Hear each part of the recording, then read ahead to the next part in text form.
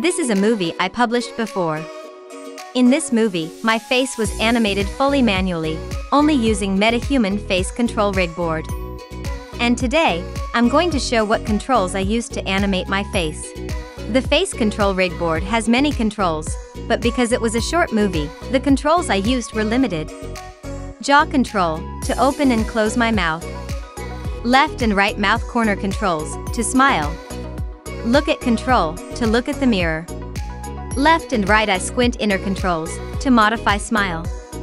And left and right eye blink controls, to blink. Let's take a look at one by one. The look at control. There is a switch at the lower right corner of the face board. When it is turned on, a world space look at control appears. And I placed it at the surface of the mirror. The jaw control. Sometimes I slightly opened my mouth, and sometimes closed. I set 22 keyframes for this control in this movie.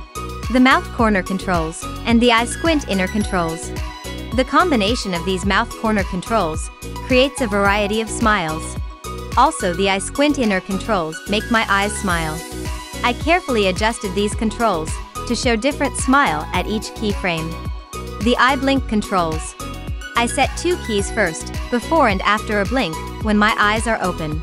Then, at the center of the two keys, I closed my eyes, using the eye blink controls, and set the third key.